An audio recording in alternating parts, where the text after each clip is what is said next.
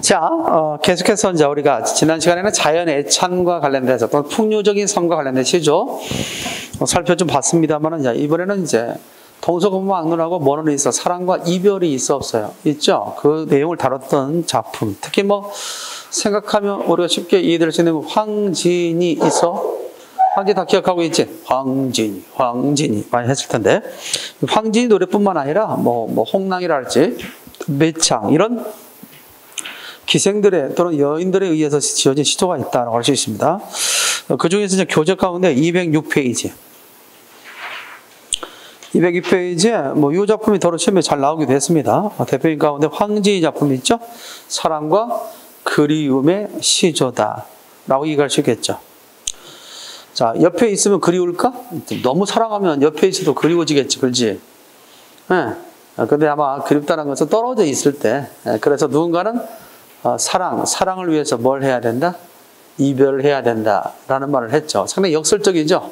우리는 더 나은 사랑을 위해서, 더 깊은 사랑을 위해서 이별, 이별해야 된다라고 했지만 그 의미를 곰곰이 생각해 보면 역설법인데 생각해 보면 떨어져 보면 알 거야. 뭐 그리움이 있잖아, 그렇지? 그러니까 아마 사랑을 그리움으로 이게 대체했을 때 어, 이별하면 더 사랑이 더 깊어질 수 있다라는 얘기를 했던 것 같습니다.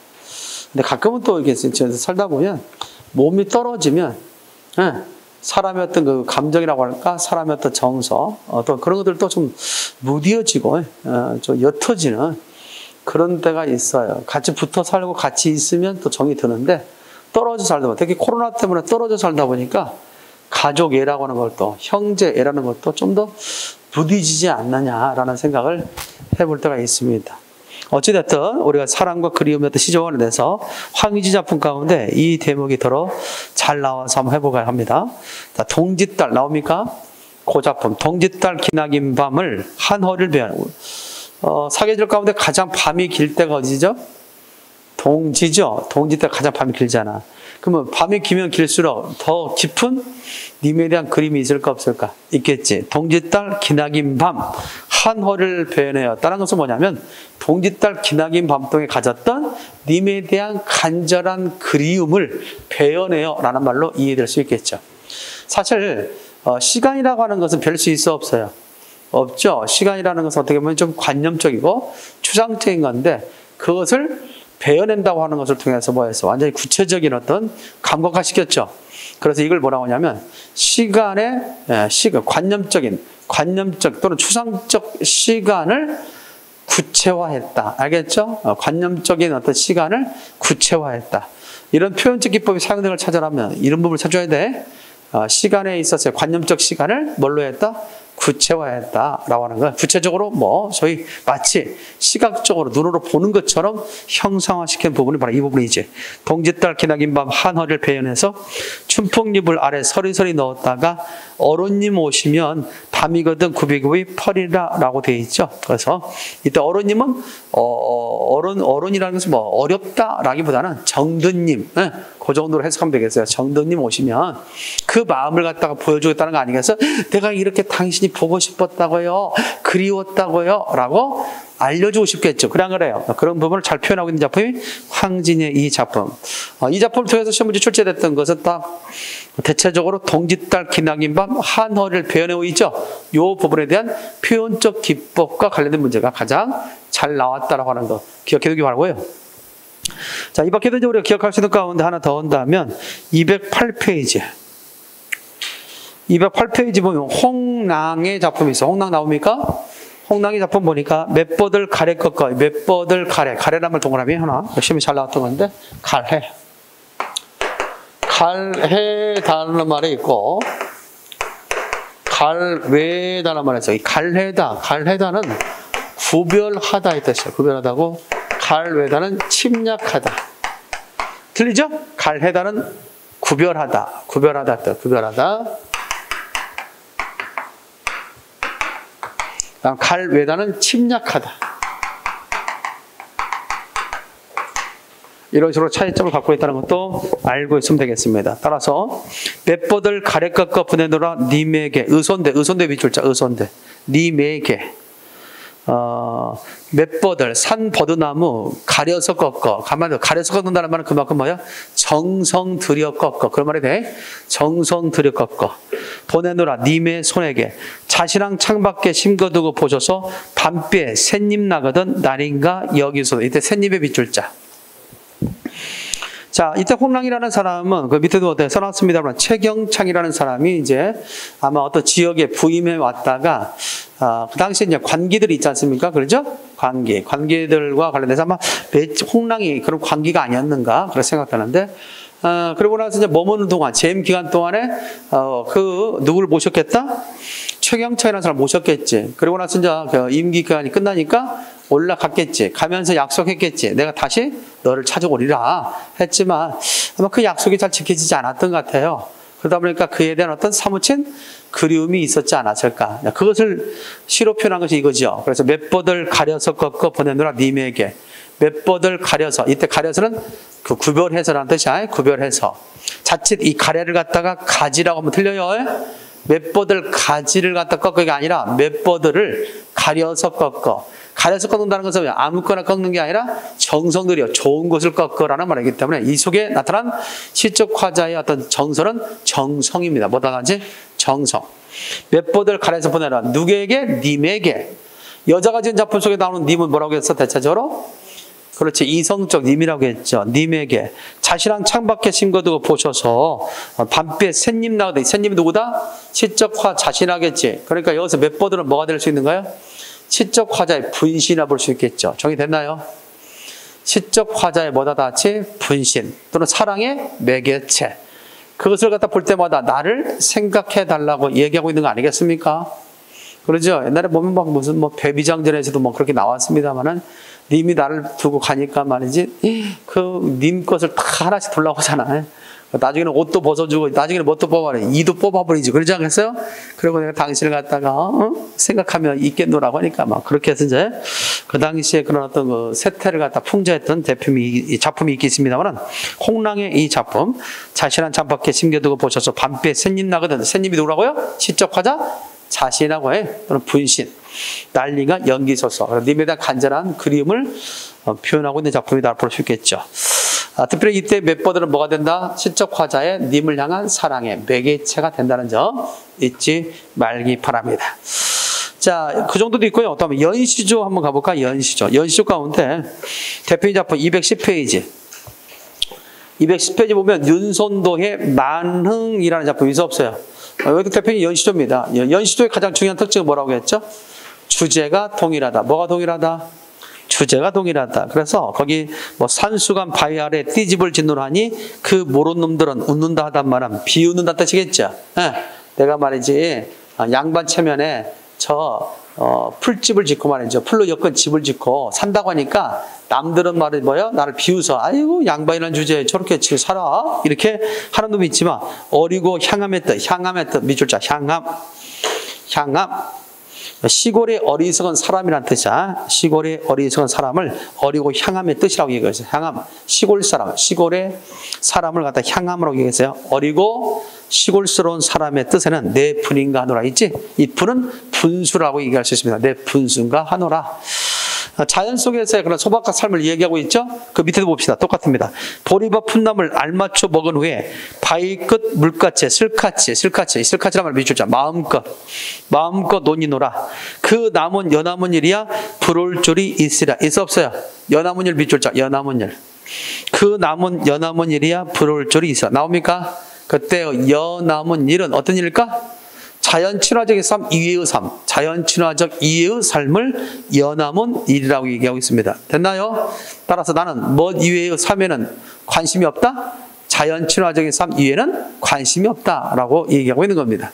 다 뭘 갖고 있어요? 자연 친화적 삶을 얘기하고 있지. 이렇게 연시조는 주제가 동일하다는 것. 주제가 동일한 하나의 평시조를 중심으로 여러 연호된 시를 뭐라고 한다? 연시조. 요 정도의 이해는 또 해드릴 수 있어야겠지. 자, 넘어가겠습니다. 자, 어, 특별히 우리가 사설시조에 대해서 하나 볼 거냐면 사설시조 교재 교재 215페이지 215페이지 보면 주요 사설시조 나오죠? 사설시조는 언제 나왔지? 조선 후기에 나왔지. 누구 중심? 평민 계층을 중심으로 해서 아무나 시조를 양반들의 어떤 시조를 모방한 것이 평민들에 의해서 쓰여진 사설 시조라고 얘기한 적이 있지. 대체적으로 몇 구 이상 길어진 시조? 입구 이상 길어지는 시조를 몇구 뭐라고 한다? 사설 시조라고 한다. 그러면서 교재 216페이지. 216페이지 보니까 사설 시조의 주제 나와 있죠? 주제. 사설시의 주제는 주로 구체적이고 서민적인 소재와 비유가 도입됐고요. 강렬한 이정과 내용의 표출, 언어 유희, 재담, 욕설의 도입, 기타 남는 비유를 통해서 사회를 통렬하게 비판했다는 점. 됐습니까? 이런 것들이 사설시조의 가장 중요한 특징. 따라서 사설시조는 어떤 문학적 미의식과 관련되어 있다? 골 개 미. 다 같이 시작. 골개미. 사설 시조는 뭐와 관련되어 있다는 점? 골개미와 관련되어 있다. 골개미는 풍자와 해악을 골개미라고 하죠. 그러죠? 비판적 요소가 담고 있는 게 풍자라면 다소 어, 웃음을 갖다 유, 어, 내포하고 있는 게 뭐다? 해악이라고 했지. 이런 해악과 풍자 합쳐서 무슨 의미? 골개미. 따라서 사설 시조는 그런 문학적 미의식 골개미와 관련이 깊다라고 얘기할 수 있습니다. 자, 한두 작품 보도록 하겠습니다. 다음 같은 내용이죠. 거기 220편, 약 상당히 해학적인 표현이 나오는데요. 개를 열한문 기르듯 나옵니까? 개를 열한문 기르듯 나오죠? 자, 봅시다. 개를 열한문 기르되 요 개같이 얄미우랴. 미호님, 밉다. 내가 미워하는 님이죠. 미호님 오면은 꼬리를 회치며 치드락 나리드락 반기어서 내닫고 고우님 오면은 뒷발을 바둥바둥 무르락 나르락 캉캉 젖어서 돌아가게 한다. 쉰밥이 그릇느릇 난들 너 먹일 줄 있으라. 나옵니까? 그러죠? 어때요?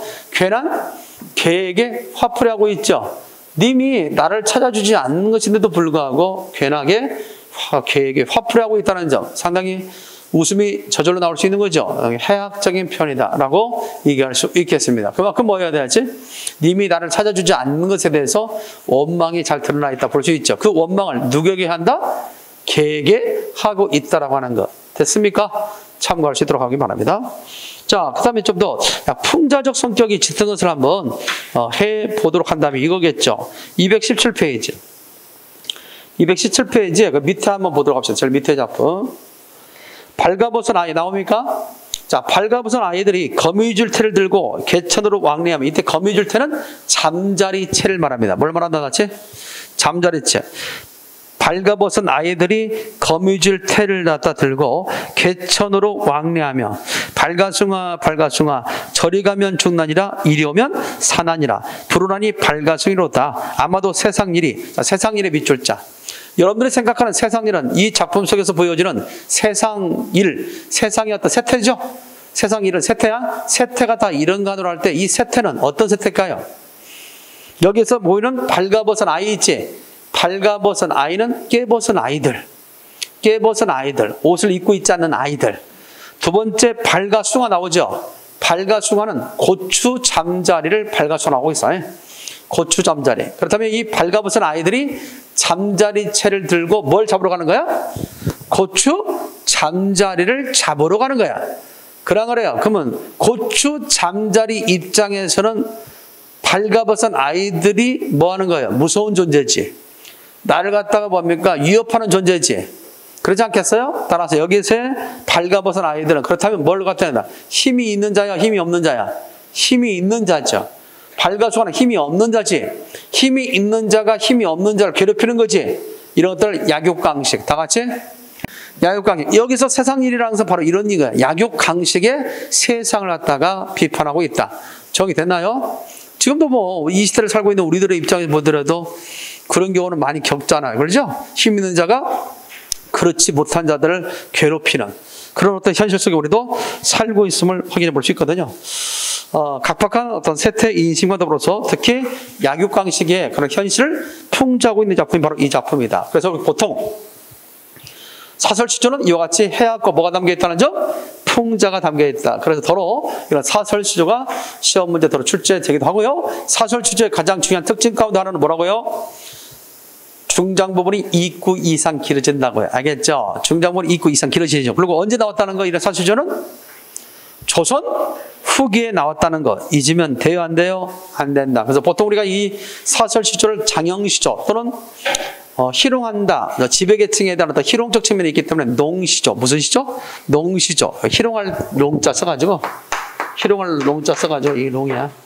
롱. 그래서 희롱할 롱. 그래서 농시조라고 하기도 하고 장형 시조라고 한다. 이 농시조. 농시조라고 하기도 하고 장형 시조라고 하는 게 뭐가 있다? 사설 시조가 있다. 이 정도는 알고 가기 바랍니다. 자, 여기까지가 뭐에 대한 이야기였다는 점? 시조에 대한 이야기였다. 알겠죠? 자, 그 다음에 이제 뭐가 나오냐? 가사가 나와요. 가사, 뭐 작가, 민요가 있는데, 자, 이런 가사와 관련해서도 이것이 보면 뭐 기본적인 내용들을 우리가 확인해 볼 수 있겠죠. 교재 몇 페이지 풀까? 어, 그렇죠. 굳이 뭐 우리가 여기다 칠판에다 써줄 일은 없겠고, 이걸 보면 돼. 교재 370페이지. 370페이지 나옵니까?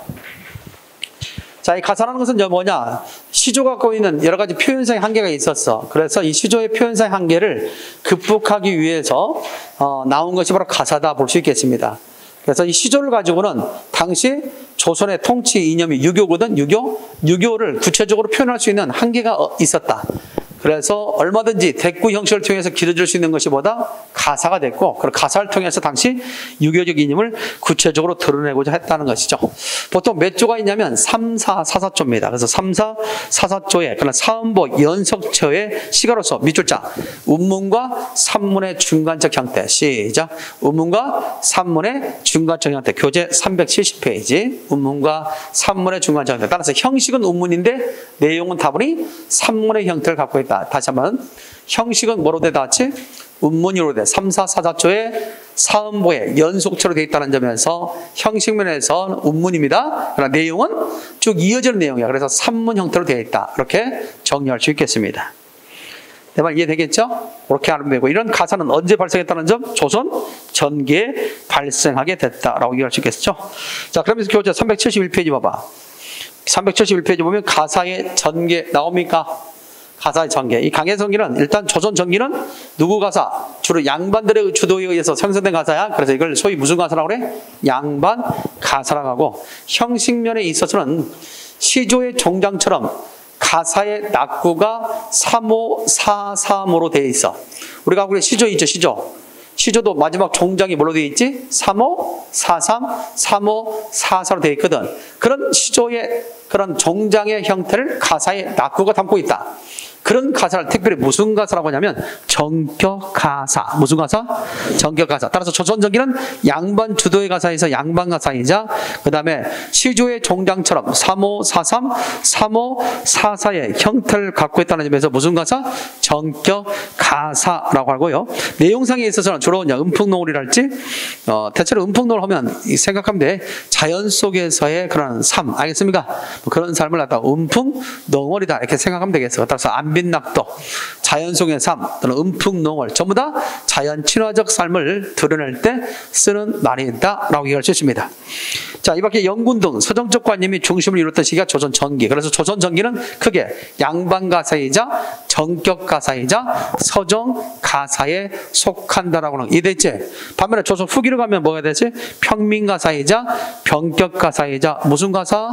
서사 가사라고 얘기할 수 있죠. 따라서 평민 계층 중심이기 때문에 평민 가사고요. 어, 대체적으로 이제 가사의 낙구가 어, 어떤 율격, 3호, 4, 3의 율격을 벗어났기 때문에 그걸 병격 가사라고 하고 대체로 조선 후기로 가면서는 실제 삶의 체험을 바탕으로 가사들이 많이 나와요. 그래서 뭐 전쟁 체험을 쓴 정쟁 가사, 여행하고 쓴 여행 기행 가사 알겠죠? 유배지의 삶을 바탕으로 한 유배 가사 등 이렇게 삶의 체험을 바탕으로 한 이야기 형태의 가사가 많이 나온다. 그래서 뭐라 그래? 서사 가사라고 얘기한다. 그렇기 때문에 조선 전기에 비해서 조선 후기로 가면 가사의 길이가 넓어져 안 넓어져? 가사의 길이가 점점점 더 길어지는 형태를 갖고 있는 것이 조선 후기 가사의 특징이다라고 할 수 있지. 한번 여러분들 수업을 집중했는지를 확인하기 위해서 문제 한번 내볼게. 조선 전기 가사의 특징을 볼 수 없는 건 1번 서정 가사, 2번 정격 가사, 3번 양반 가사, 4번 변격 가사. 시작. 그렇지. 4번 변격 가사지. 변격 가사는 조선 후기 관련해서 기억할 수 있겠다. 자, 그러면서 아까도 설명했지만 371페이지에 보면 성격이 있어. 그래서 시거와 문필의 중간적 형태 있죠. 문필이라는 말이 여기서 산문조로 해석하면 돼요. 따라서 운문과 산문의 중간적 형태가 뭐라는 점? 가사라는 점. 그래서 형식은 운문이로 돼 내용은 산문의 형태를 갖고 있다는 것. 됐지요? 자, 그러면서 조선 시대에 있어서의 가사를 봐봐. 조선 전기 가사 보면 전국인의 상춘곡이랄지, 조위의 만bun가, 송순의 면왕정가, 백광홍의 관서별곡, 정철의 성산별곡, 정철의 관동별곡, 정철의 삼인곡, 정철의 송민곡, 차철로의 강촌별곡, 허난선의 귀영가 있어 없어요? 있죠? 어, 그럴 때 조선 전기에 있어서의 어, 가사 작품들 가운데 누구의 작품이 제일 많은 것 같아? 정철이 많이 나오지. 그래서 조선 전기 가사의 대가 정철이야. 조선 전기는 정철이 가장 대표적인 가사의 작가고 저 조선 후기로 넘어가 볼까? 조선 후기로 넘어가니까 거기에 허전의 고공가 이원혁의 고공답주인가 있죠? 이거 서로 답가 형식의 노래야. 그래서 최근에 공무원 시험에 출제된 적이 있지. 고공가, 고공가는 머슴이 할 도리에 대해서 얘기한 노래라면 고공답주인가는 주인이 지켜야 할 도리에 대해서 얘기하고 있는 게 고공답주인가야. 정의됐지요. 응, 그 당시에 기억해둬. 자, 그래서 고공가고 고공답중가가 있다. 그 다음에 박일로의 태평사, 박일로의 선상탄, 박일로의 뭐가 있다? 노항사. 실제 삶의 체험을 바탕으로 쓴 것이 바로 태평사나 선상탄, 노항사라고 얘기할 수 있겠죠. 자, 누구의 작품이라고 다 박일로의 작품. 이렇게 한 작가의 작품이 여러 개 나오면 어떤 문제가 기본적으로 언급될 수 있어. 약간 지엽적이긴 하지만 한 작가의 작품이 아닌 것은 알겠죠? 네, 나올 수 있잖아. 뭐 사지선답으로도 언급이 될 수 있는 거고. 그래서 뭐 군무원 시험을 준비하는 사람들이 있다면 분명히 그것은 좀 더 한 번쯤 관심을 가질 필요가 있겠다. 이 밖에도 김인겸의 일동장유가 홍순학의 연행가, 안조환의 만원사, 김진영의 북천가, 정학류의 농가 원령가 있지? 특히 정학류의 농가 원령가는 우리 앞서 고려 소교 가운데 원령체 가요 뭘 배운 적 있지? 원령체 가요 뭘 배운 적 있지? 고려 소교 가운데 동동을 배운 적이 있지 동동. 동동이 전체 13년으로 되어 있는데 그 서연 첫 번째 연을 빼면 12달의 이야기잖아. 농가 원령가도 12달의 이야기야. 내용은 틀려. 농가 원령가는 농사에 관한 이야기를 하고 있거든. 그래서 내용은 틀리지만 형식 면에서 달거리 형식이라고 하거든. 이것을 달거리 형식을 갖다는 점에서 농가 원령가는 앞서 어떤 장품에 영향을 받았다? 동동에 영향을 받았다. 알겠죠? 그래서 동동을 우리는 원령체 가요의 효시다라고 얘기하고 그 원령체 가요의 효신 동동의 영향을 받는 작품이 정학류가 쓴 동가 원령하다. 그러나 어떤 면에서 영향을 받았다고 해야 돼? 형식 면에서 아니면 내용 면에서 형식면에서 영향을 받았다고 해요? 맞습니다. 정의됐죠? 그래서 우리와 같이 얘기할 수 있는 것이 아닌가. 그래서 고공과 고공답주인과 태평선사도 쭉, 쭉 있죠? 그 내용들에 대한 기본적 이해. 자, 그러면서 여러분들 질문 던져볼게. 집중의 테스트. 조선 후기에 대표적인 가사 작가는 누굴까, 그러면? 조선 후기의 대표의 가사 작가는 누굴까? 어? 조선 후기의 대표의 가사 작가, 어떤 사람의 이름이 제일 많이 나와? 박일로지. 그래서 조선 후기에는 박일로가 있다면 조선 전기는 누가 있다? 정철. 그래서 가서 대가로서 알맞게 짝져라. 과거는 한번 나왔거든. 정박. 정철과 박일로다라고 얘기할 수 있습니다. 됐지요? 어, 다시 한번 정리한다면 조선 전기는 양반 가사이자 서정 가사이자 정격 가사라면 조선 후기는 무슨 가사 나왔지? 평민 가사이자 어, 현실적인 삶의 체험을 바탕한 무슨 가사? 서사 가사이자 그 다음에 어, 시조의 종장 형태 율격을 갖고 있지 않는 가사에서 변격 가사다 이렇게 정리할 수 있겠습니다. 자 그렇다면 이 많은 가사들 가운데 어, 중요하다고 생각되는 거 어, 한두 작품 어, 설명을 좀 해주도록 하겠습니다. 특히 어, 하나 할까? 100, 220페이지 몇 페이지? 220페이지 보면 전극이네 뭐가 나와? 상 충곡이 나오지. 상충곡이라는 제목을 우리가 주목할 필요가 있지. 상충곡은 봄을 완성한 작품. 다 같이 뭐다 나왔지? 봄을 완성했다. 봄 되면 좋겠죠. 이제 우리가 가을을 지나 이제 겨울로 치닫고 있지 않습니까? 가을도 뭐 금방 온 것 같은데 벌써 막 겨울이 올 듯한 기분이 들고 그러지 않습니까? 어, 이제 얼마 되지 않으면 겨울 지나면 뭐가 올까? 꽃이 피는 또 봄이 오겠죠. 아마 꽃이 핀 계절, 봄에 아마 경치가 좋잖아. 그래서 우리는 보통 봄에 그런 경치를 갖다가 즐기는 사람들, 구경 가는 사람들은 뭐라고 그래 우리가 삼음절로 봄에 어? 그렇지 상춘객이라고 하지 그래서 상춘 나오잖아 상춘 되면 알겠어요? 그러니까 봄을 완성한 노래가 상춘곡이다. 그러면 상춘곡은 경치 좋은 모습에 대해서 얘기하고 있지. 아름다움에 대해서 얘기하고 있지. 그러면 이와 같은 문학적 미의식은 뭐가 될까? 1번 골개미, 2번 우아미, 3번 비장미, 4번 순고미. 몇 번일까요? 그렇지, 우아미지, 우아미. 그러니까 상춘곡은 어떤 거 관련됐다? 우아미. 문학적 미의식 우아미와 관련됐다라고 얘기할 수 있습니다. 정의됐지요? 그런 가운데 그 밑에 부분이 심히 잘 나왔어. 공명도 날 끼고 나옵니까? 이게 바로 상충국의 낙, 상충국의 가장 마지막 부분, 결사 부분이라고 생각하면 돼. 이 대목이 가장 많이 시험 문제 출제됐는데 한번 볼까? 공명도 날 끼우고, 부기도 날 끼우니. 이때 끼우니의 뜻은 뭘까? 끼우니의 뜻은 꺼리다라는 뜻이야. 뭐의 뜻? 꺼리다. 그러니까 공명이 날 꺼리고, 부기가 날 꺼리니 그런 뜻이야. 다시 한번 공명이 날 꺼리고 부기가 날 꺼리니 청풍명월 외 여러분 생각해보면 공명과 부기가 날 꺼리는 거야. 내가 공명과 부기를 꺼리는 거야. 어떨 때 비참해? 에? 어떨 때 비참하겠어? 다 돈이 벌리지 않을 때 돈이 날 꺼리는 거야. 내가 돈을 꺼리는 거야. 가끔은 그러지요. 돈을 잘 벌리지 못할 때 돈이 나를 갖다 미워하는가 봐. 에? 그럴 때 그 말 속에 좀 어떤 애틋함이 담겨져 있다 볼 수 있겠죠. 그런 거래요. 그러나 때, 때에 따라서는 어, 나는 내 때에 따라서는 공명과 날 공명이 날 꺼리고 부기가 날 꺼리니 이 사람은 공명과 부기를 누리고 있다 안 누리고 있지 않다? 누리고 있지 않지. 그러면 누리고 있지 않으면 얼마나 아픔이 있어. 그런데도 불구하고 이 사람은 그것에 대한 아픔이 아니라 청풍 명월 외에 어떤 것이 살고 있습니까? 나는 뭘 버타며 살고 있다? 청풍 명월. 청풍 명월은 자연입니다. 자연을 벗어서 산다는 얘기야. 그러니까 나는 부기도 싫다. 공명도 싫다. 결국 중요한 것은 공명이 날 꺼리고 부기가 날 꺼리는 게 아니라 내가 공명과 부기를 멀리하고 청풍명월과 더불어 산다는 얘기거든. 다시 말해서 자연 친화적 삶을 얘기하고 있는 거죠. 그렇다면 여러분들 보면 표현 어떻게 되겠어? 공명과 부기가 날 꺼리는 거야? 내가 공명과 부기를 꺼리는 거야? 네 가지 그러니까 주객이 전도됐다. 따라서 이 부는 주객 전도가 표현되어 있다라는 주객 전도. 주체와 객체가 서로 맞바뀌었다. 공명도 날 꺼리고 부기도 날 꺼리니 청풍명을 왜 어떤 것이 싸울고 단편누왕 여러분 단편누왕 사자성어 들어본 적 있죠? 표주박이 담긴 물 한 그릇과 도시락 하나로 어? 어, 누추한 거리에서 살고 있는 공자의 제자 안연이 있었어. 안연. 안연의 삶을 예찬하기 위해서 공자가 단표 누왕이란 말을 썼어요. 단표 누왕을 그렇다면 어떤 의미를 갖고 있다? 소박한 삶, 청빈한 삶을 얘기할 때 단표 누왕을 듭니다. 정의됐지요? 따라서 나는 부귀와 공명을 멀리하고 자연 속에서 이와 같은 소박한 삶을 즐긴다는 얘기야.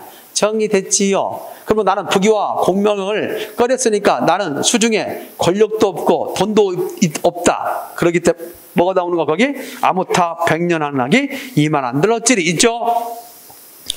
다시 말해서 자기의 처한 상황에 대해서 뭐하고 있다는 거야? 만족하고 있다는 거 아니겠어요? 그리고 자기 처한 상황은 뭡니까? 지극히 부귀도 없고 또 재물도 없고 그렇잖아. 그러니까 돼? 가난할 수밖에 없겠지. 그래서 가난함 속에서도 그런 평온한 마음을 에? 잃지 않고 살아가는 삶을 얘기할 때 뭐라고 그래? 안빈낙도 시작. 안빈낙도 따라서 여기는 안빈낙도의 내용을 담고 있다. 그래서 안빈낙도가 들어가면 대체적으로 자연 친화적인 삶이다라고 얘기할 수 있는 거죠. 정의됐나요? 자, 이렇게 해서 상춘곡이라고 하는 정근의 작품 우리나라에 있어서 본격적인 가사의 효시 작품이라고 알려져 있습니다. 그 정도 좀 기억해 두면 되겠고, 어, 뭐 여러 작품이 있지만, 어, 222페이지에 제시된 작품이 정철의 이제 뭐라는 작품이야? 관동? 별곡 있어 없어? 있죠? 이 정철의 관동 별곡 부분인도 특히 어디 부분이 시험에 잘 나왔자면, 어, 결사 부분 223페이지 보면 결사 어디부터냐면 송근을 베어 누워 있어 없어요. 있지 여기서부터 이제 결사 부분인데 그 한번 그 부분만 잠깐 보도록 하겠습니다. 물론 나머지에 대해서도 나중에 이제 한번 할 기회가 있겠지만 이 부분 봅시다. 송근을 베어 누워 송근은 소나무죠 소나무. 소나무를 베어 누워 풋자명에 송나무 뿌리를 갖다가 아, 베고서 잠을 장했던 모양이지. 풋잠, 풋잠 동그라미. 풋잠은 깊은 잠이다, 선잠이다. 선잠이야. 잠깐 든 잠이죠.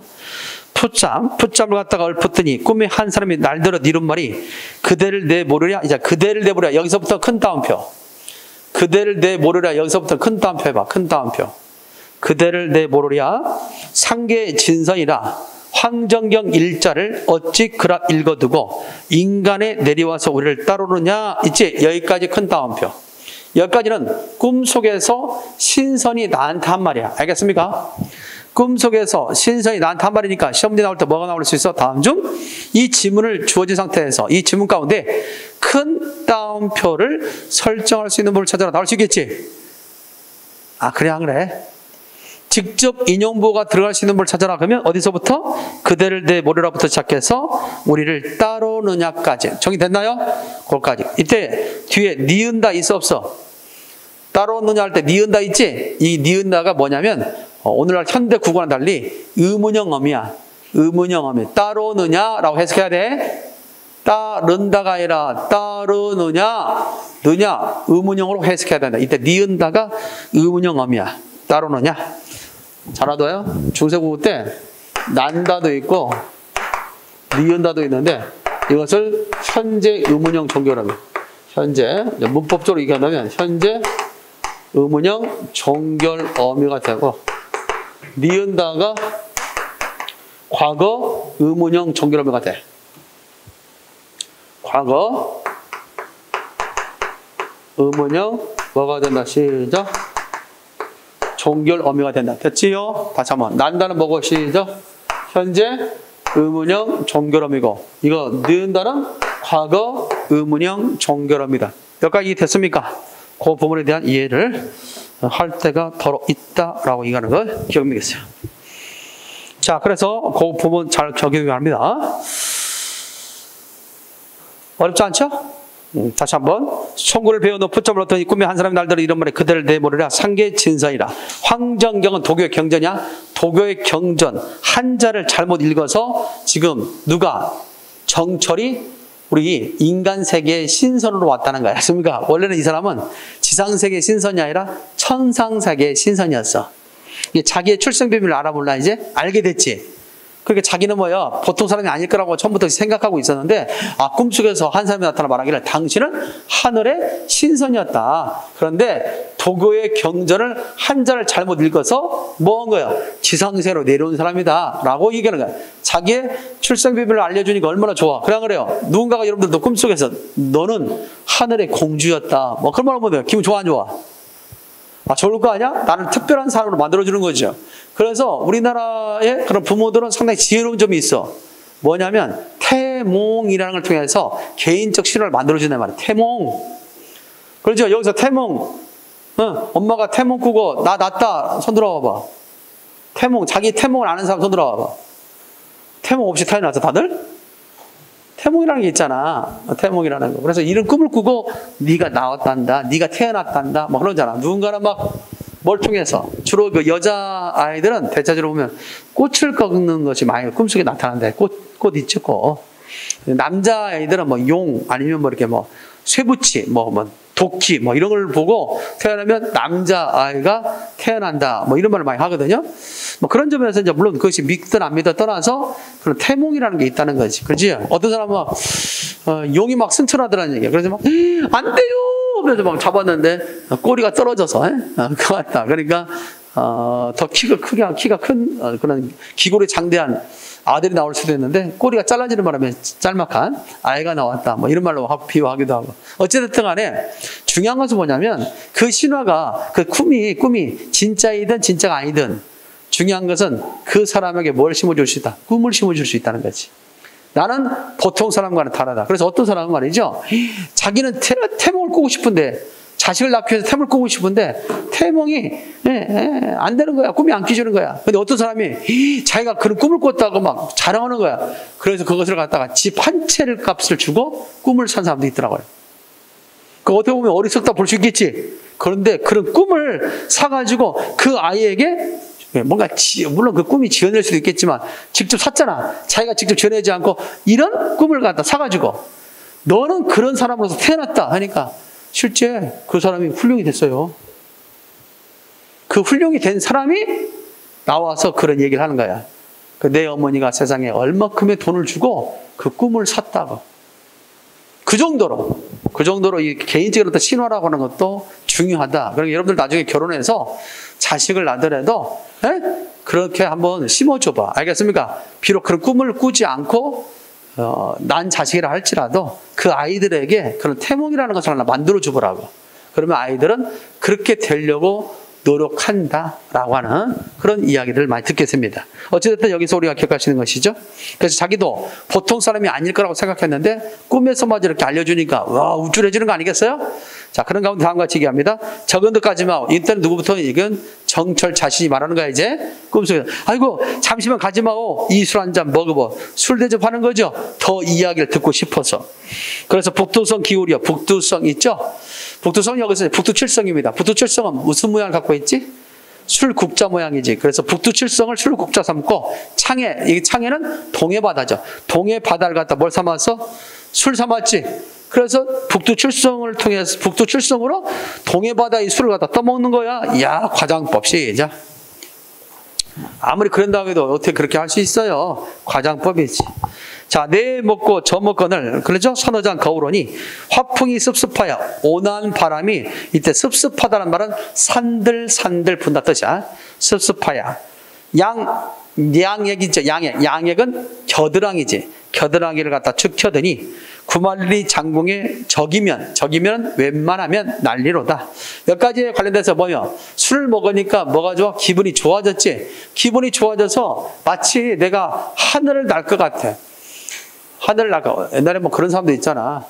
한 사람이 회사 회식이 있었는데 예, 실종된 사건이 있었어요. 그, 그 다음날 확인해 보니까 그 회식한 건물에, 예, 건물에서 보니까 시체를 발견됐어.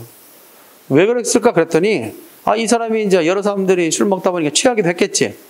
그래서 나가길래 화장실 가는 줄 알았대. 그리고 어떻게 술 먹다 보니까 또 잊어버린 거야. 이 같이 동료들이. 각자 자기들 집으로 갔어. 근데 그 집에서 아내가 기다리는데 안 오는 거야. 에? 그래서 밤새 뭐 했나? 아니면 돈 들고 가서 어디 가서 잤나? 어, 어찌됐든 그래서 그래서 이제 회사에 출근했는지 확인하기 위해서 전화를 했어. 근데 그 사람이 없는 거야. 이상하다 해서 이제 동료들이 그 회식의 장소로 간 거야. 아무리 찾아도 없는 거야. 그래서 한 사람이 옥상에 올라가서 보니까 옥상 밑에 보면 현관 들어올 때 돌출된 부분 있잖아요. 이렇게. 에? 거기에 떨어져 죽어 있더라는 거지. 그러니까 이 사람이 화장실 간다고 그러고 위로 올라온 거야. 위로 올라가서 그냥 거기서 뭡니까? 날 것 같이 기분 좋으니까 떨어진 것 같아 거기서. 그 죽은 것입니다. 지금도 이, 이 대목을 설명할 때면 그때 그 사건 뉴스에서 나왔던 사건이 생각납니다.